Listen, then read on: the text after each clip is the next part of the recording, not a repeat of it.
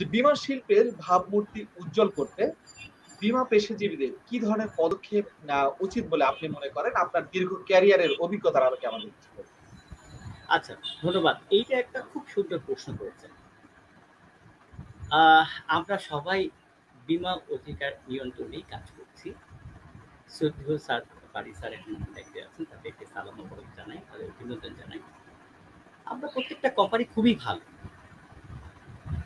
কিছু লোক আছে, আমার কোম্পানি ভালো, আপনার কোম্পানি খারাপ। আপনার কোম্পানি এইটা দেয় না, আমার কোম্পানি এটা দেয়। এই কাদা ছুড়াছুড়ি যতদিন পর্যন্ত বন্ধ না হবে, আমাদের মধ্যে কোনো ইন্স্যুরেন্সে ভালো না। আমি মনে করি সবাই আমরা ভালো, আমরা সবাইকে শ্রদ্ধার চোখে দেখি। আমি অমুক একটা লোক, অমুক একটা কোম্পানিতে পলিসি করেছে, আলহামদুলিল্লাহ, ভালো করেছেন, অনেক ভালো করেছেন। শুধু আমাদের বুঝার কারণে আর কিছু অফিসিয়াল যেভাবে ওরা হ্যান্ডেলিং করে, আবার কিছু লোক আছে যেটা কিছুই না, সেটাকে অনেক বাড়িয়ে বলে। এই কারণে আমাদের আসলে অনেক হতাশা, অনেক প্রবলেমগুলো আমরা ফেস করি।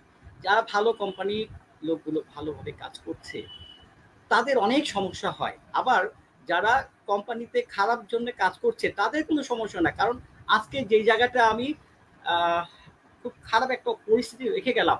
আমি আরেকটা কোম্পানিতে গিয়ে আবার একটা সময় গিয়ে আমি সেই পরিস্থিতিতে আবার ঘোলা করব।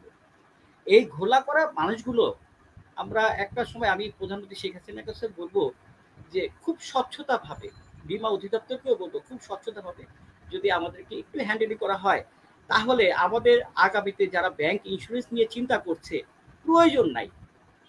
আমরাই যথেষ্ট, আমরা বাংলাদেশের জন্য অনেক কিছুতে পারি, এটা আমাদের শিল্প। আমরা শিল্পকে এখনও ওয়ান পার টু বা ফোর পার্সেন্ট করে নিতে পারি নাই। এটা আমাদের ব্যর্থতা। কিন্তু এর পিছনে যারা আছে, তারা যদি সুন্দরভাবে আমাদেরকে নিয়ন্ত্রণ করতো, তারা সুন্দরভাবে গাইডলাইন করতেন, তাহলে আমার কাছে মনে হয় মানুষ M A pass BA pass M B A করে ইন্স্যুরেন্সে সেলসে কাজ করতেন।